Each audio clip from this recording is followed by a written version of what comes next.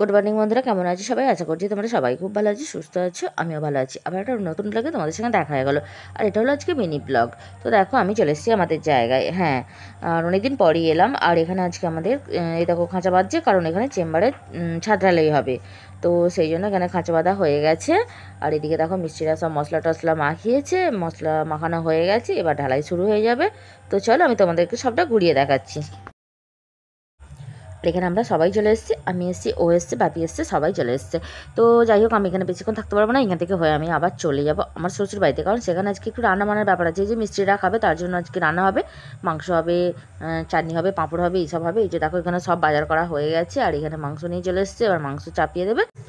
তো মাংসটাকে হয়ে যাবে, তারপর চাটনি হবে, তারপর পাঁপড় হবে। ঠিক আছে? একদম পাঁপড় লাস্টে ভাজা হবে। তো এই যে দেখো, এখানে বলতে বলতে সব কিছু মশলা টশলা কষিয়ে মাংস টাংস সব কষানো হচ্ছে। বড় হাঁড়িতে মাংস চাপানো হয়ে গেছে। শাড়িটা হাঁড়ি না, এটা হলো হচ্ছে বড় কড়া। তো দেখো, আমি একটু লেগে গেছি ওর সাথে। কী আর করব? ভাবলাম যে দেখি কেমন লাগে এরকম করতে। বেশ রাঁধুনিদের মতো এরকম করে করে ঠেলে গুজে ঠেলে গুজে রান্না করতে। তো যাই হোক সব কিছু হয়ে গেছে। আমরা মাংস মানে যা যা রান্না করেছিলাম সব কিছু নিয়ে মিস্ত্রিদের কাছে চলে এসেছি। মিস্ত্রি এখন খাবে, আর আমি একটু দেখিয়ে দিই যে কাজটা কতটা গেলো। এই যে দেখো ঢালাই আমাদের হয়ে গেছে। যখন গিয়েছিলাম তখন কিন্তু খাঁচা বাঁধা হয়েছিল, তখন কিন্তু ঢালাই হয়নি।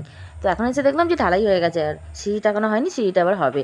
তো এই হলো আজকের আমার মিনি ব্লগ আমি বাড়ি চলে এসেছি, খেতে বসে গেছি। টাটা বাই বাই ভালো লাগল।